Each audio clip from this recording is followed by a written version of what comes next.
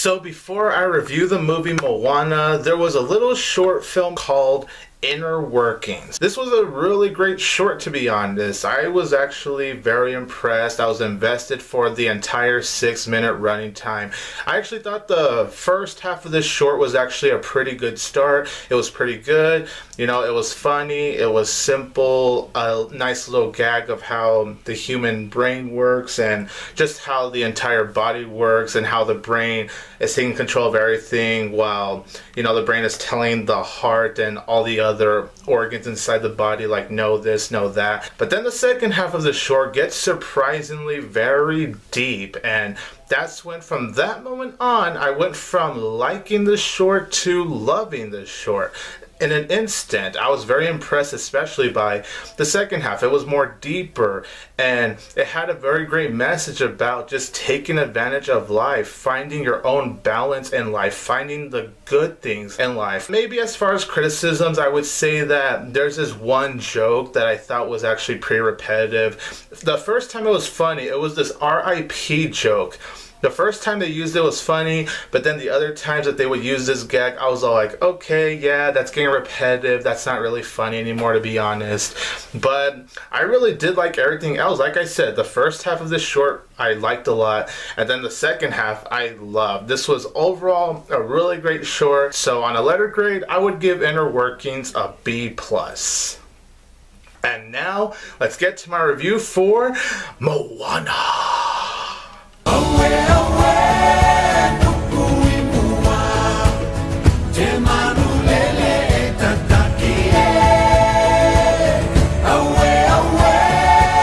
Hey everybody, this is 22 Tiger Dude here, and I'm here to review Disney's Hey everybody, I'm Mickey Mouse! Moana. So Moana stars, I really want to get this name right, I'm pretty sure I'm not, Auli'i Cravalho, Dwayne The Rock Johnson, uh, Jermaine Clement, Nicole Scherzinger, and Alan Tudyk. Moana tells the story of this young Hawaiian girl named Moana. She is someone that wants to explore out into the ocean, but because of this whole story of this demigod named Maui spreading this curse, Moana must go out and find this demigod named Maui so that way he can restore the heart and break this curse. Moana is a film I was so excited for. I could not wait for Moana. Since last year, when I've been hearing about this film, I was on board with it. Let me just start out by saying this. The animation in Moana is beautiful. It's absolutely breathtaking. The details on the ocean, the island, the character designs, the animal designs like on the pig and this chicken named Heihei. I really liked, I loved all of that actually. I thought animation wise, this movie is breathtaking. I have to really credit the animation team because they did a glorious job with the animation. The character of Moana I actually really, really liked. I really got behind her character. She's the character I rooted for the most. She was another strong Disney, I guess, princess. I thought the actress that voiced her, like I said, the actress, this is her first film, by the way, Ali Cravalho. Once again, I'm really sorry about butchering that name, but I have to try my best because she really did a very great job. This being her first film, and let alone her first film being an animated film, as far as voice work goes, she honestly did do a very good job, and I think that's very nice that Disney actually casted a Hawaiian girl to voice this character. I really love Moana.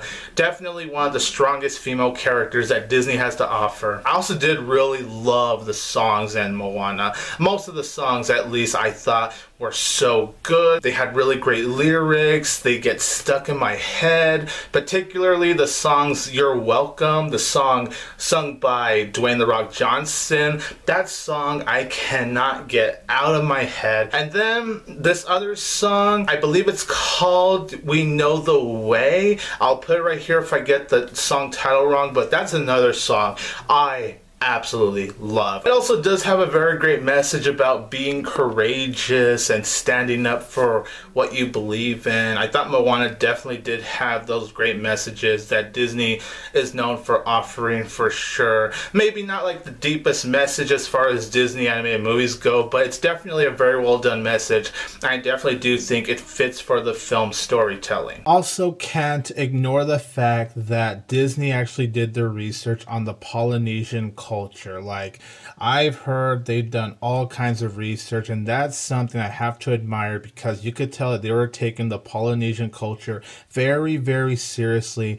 And for them to actually study that just to create a movie is something that I truly, truly respect and to see the whole Polynesian culture, to learn about it just from an animated film was really breathtaking. From, you know, the tropical island to the oceans to the sea creatures to the chicken, because I actually heard in Hawaii, the chicken, which the character of Heihei is in this film, I heard they're not exactly the brightest, so they portrayed what they saw at Hawaii and they brought to life in an animated film. And I truly do appreciate that. It's one of the biggest positives I can give Moana for sure. And thank you so much, Moana, for not throwing in a shoehorn romance plot between Moana and Maui. I really do appreciate that because it's not necessary, and I'm definitely glad they didn't go that route. Some of the humor actually did really make me laugh. Heihei the chicken, I thought he was a pretty funny character. I really liked him. I really love this pig that I wish we got to see more of because he was a character that I found to be absolutely adorable adorable.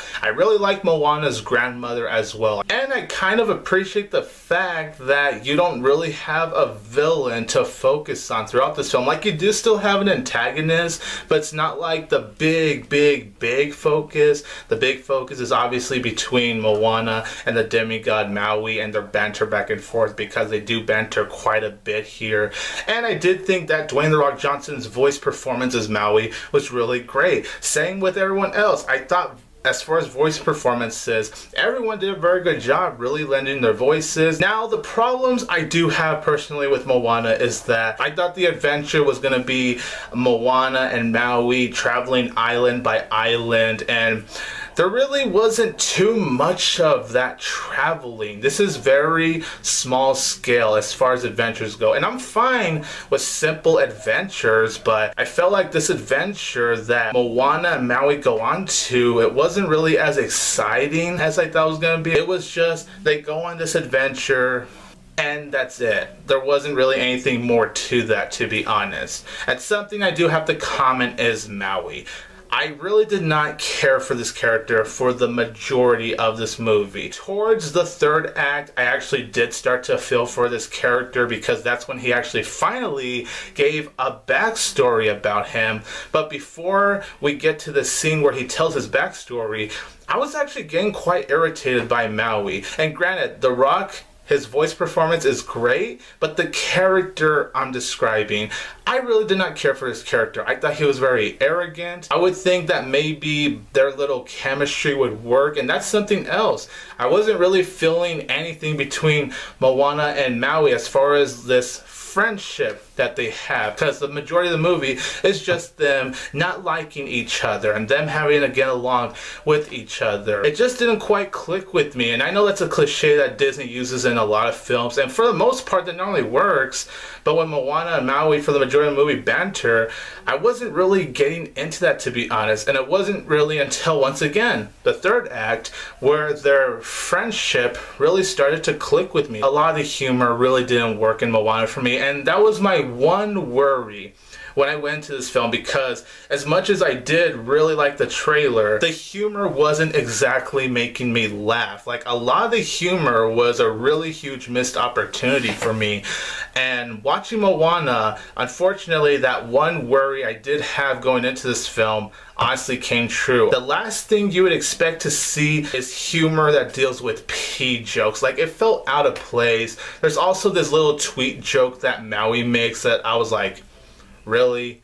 Because you know that one joke is trying to relate to Twitter. While I did really like most of the songs, there are some times where the songs don't exactly flow well with the scenes. A certain scene can feel rushed, and the way that certain song would flow with that certain scene, I thought it could have had a better flow. And just a few of the songs in general, I just didn't really care for. I didn't really like them as much as I would have liked to. Also, while Jermaine Clement does do a really great job voicing this crab, that scene felt tonally out of place from the rest of the movie because the rest of the movie, you know, the tone is more calm. But then once you get to Jermaine Clement's scene, this movie all of a sudden gets all kooky and random. And it did not fit for the rest of the movie. That one crazy scene felt so out of place. And the song that this crab sings, I believe it's called Shiny did not work at all. I actually was not a fan of that song. That might be an unpopular opinion, but I was not a fan of Shiny. I was just hoping they would cut to the next scene because I felt like after a while that scene was just kind of dragging on for me. And that goes on to my next issue with Moana is the pacing. I thought the pacing was actually rather slow. First of all, it takes a long time for Moana to actually start this adventure to go and find the demigod Maui. And I was actually really enjoying the build up for a while. Like when the movie starts, I was getting really into it and then when they sing a couple of musical numbers, I was really getting more into the film. But then there comes a point where it takes such a while for the main adventure to actually start that I'm starting to get bored watching Moana. And I don't want to feel that way. Once Moana does go on her main adventure, I'm going to say after she finds Maui and after Maui sings that great song, You're Welcome, the movie actually becomes pretty dull. This adventure was supposed to be exciting from the way this movie was marketed. It was supposed to be exciting and adventurous and magical. And watching the actual adventure in itself, I wasn't feeling any of that magic. I wasn't feeling any of that wonder. I was just sitting there, just rather bored watching it because not much happens in this adventure. And then when we get to the climax, I was actually really enjoying the climax at first. I thought the climax was actually pretty exciting. But then the climax, when we get to, I'm gonna say, last five minutes of it, that's when the pacing became so rushed. And then the climax in itself felt very anticlimactic.